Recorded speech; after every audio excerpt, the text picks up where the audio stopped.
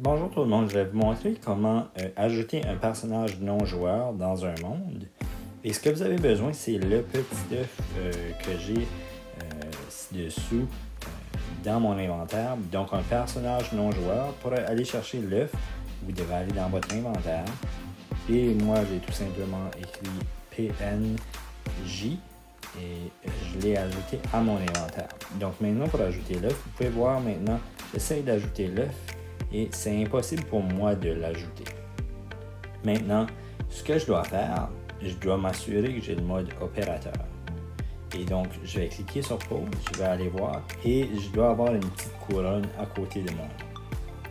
Maintenant que j'ai la petite couronne, je devrais avoir les, droits pour changer le mode de jeu, pour ajouter les personnages et même les supprimer.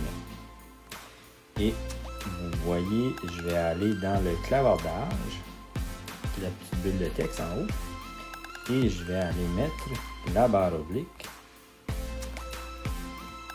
WB et je vais appuyer la touche. Et maintenant, je suis dans le mode de construction. Donc, je peux aller mettre le personnage. J'ai mis mon personnage. Maintenant, je peux cliquer sur modifier.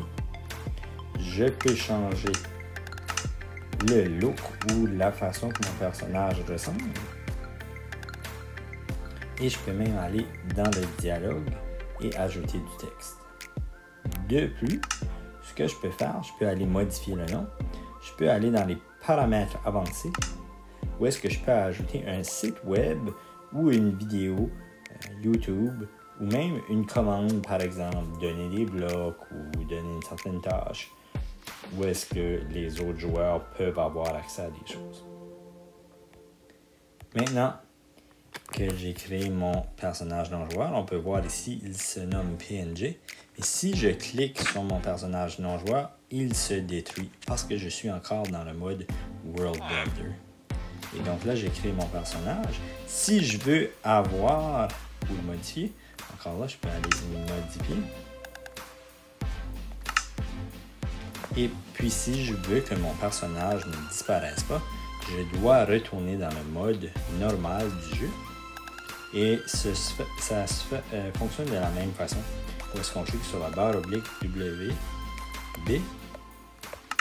Et maintenant, vous voyez, si je clique sur mon personnage, il n'y a rien qui se passe, mais je peux aller parler avec mon personnage. Juste pour vous montrer un exemple, ici, dans ce monde, j'ai plusieurs personnages. Donc, si je vais aller parler à l'artiste, l'artiste me donne de l'information ici. Et il y a même le lecteur immersif qui peut faire la lecture pour moi ou traduire dans la langue qu'on veut.